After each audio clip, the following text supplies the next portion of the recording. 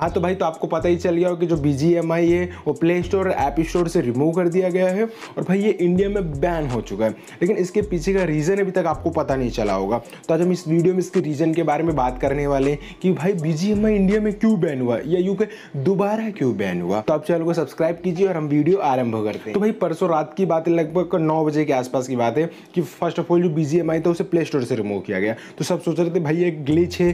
कोई मतलब कुछ कारण हो गया होगा, इसके लिए रिमूव कर दिया गया। लेकिन उसके बाद भाई इसे ऐप स्टोर से भी हटा दिया गया। तो अब सोचना पड़ेगा भाई देखिए ग्लिच एक जगह होता है, दो दो जगह तो होता नहीं है। तो भाई अब बाद में पता चला कि भाई बी जी वो इंडिया में बैन कर दिया गया। लेकिन इसके पीछे का रीज़न किसी को नहीं पता चल रहा था। तो भाई ये जो पीछे का रीज़न है, इसे इंडियन गवर्नमेंट ने ऑफिशियल तरीके से बैन किया है। वो भी I T act sixty nine A के तहत। मतलब डेटा सिक्योरिटी रीजन क्योंकि ऑलरेडी बात की जाए तो जो बी जी एम आई है वो ऑलरेडी पबजी ही था।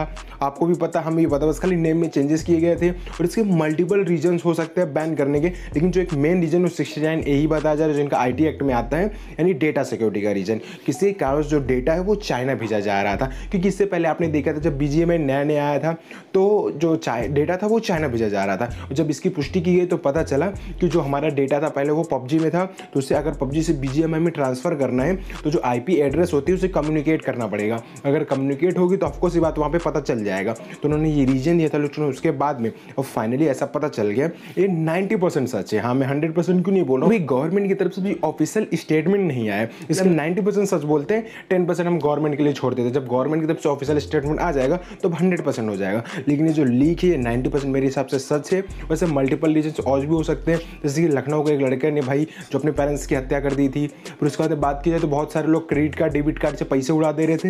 हालाँकि कौन पेरेंट्स होते हैं जो अपने बच्चों को क्रेडिट कार्ड डेबिट कार्ड दे देता है? हालाँकि देना नहीं चाहिए भाई। उनको क्या ही पता चलेगा धोआधाड़ पैसा उड़ाते रहेंगे। और बात कीजिए तो हमारा जो मानसून सीज़न हुआ था, वहाँ पर भी इसके ऊपर चर्चा की गई थी कि भाई, ये तो पबजी ही है, जो बी जी बन के इंडिया में ला दिया गया है। तो ओवरऑल ये सारा रीज़न है, लेकिन जो एक मेन रीज़न है, वो यही I T act sixty nine A data security reason बताया जा रहा है। भाई इंडियन गवर्नमेंट की तरफ़ ऑफिशियल कन्फर्मेशन नहीं किया गया।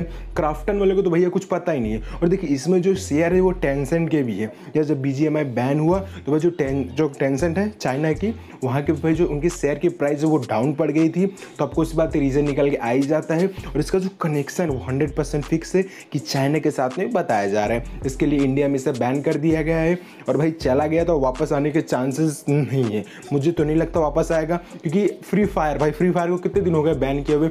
आज तक वो आया नहीं है। तो इसे अगर रिमूव किया जा रहा है तो भाई ये भी हट जाएगा। अब इसके बदले में पबजी न्यू स्टेट खेल सकते हो भाई, और कोई ऑप्शन नहीं हमारे पास में। तो चलिए अगर वीडियो पसंद आए तो हमारे चैनल को सब्सक्राइब करें और उसके बाद जो बेल आइकन है, उसे भी दबा और एक्साइटिंग वीडियो सबसे पहले देखने के लिए।